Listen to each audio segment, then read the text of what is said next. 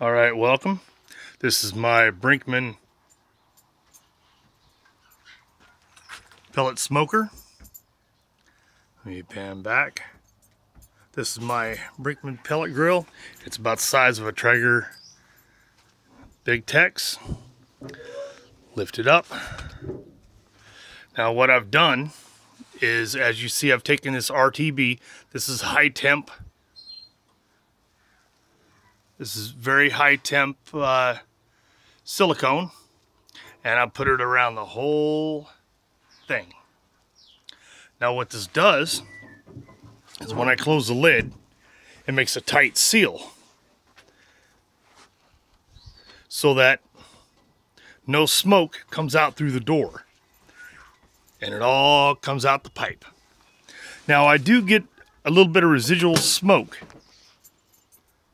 down in here where the where the box meets the body. But that's okay. Uh, it's a minimal amount of smoke. It doesn't matter. Oh, what you're looking at over here, this is uh, another smoker with a smoke daddy that my stepson made for me. Now, when you purchase this, I'm going to turn this this way.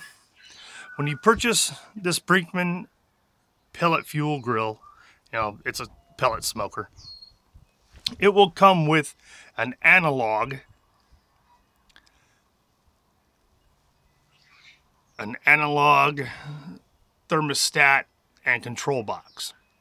This Traeger replacement is fully digital and it's the best thing ever.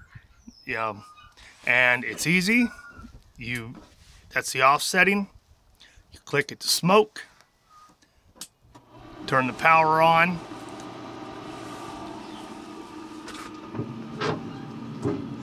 lift the lid, let it sit. I'm gonna turn it again, let it sit for about five minutes, and she's gonna be smoking. Today we are doing two spiral cut hams and some pineapple. All right, more videos. The rest of the video will follow in a bit.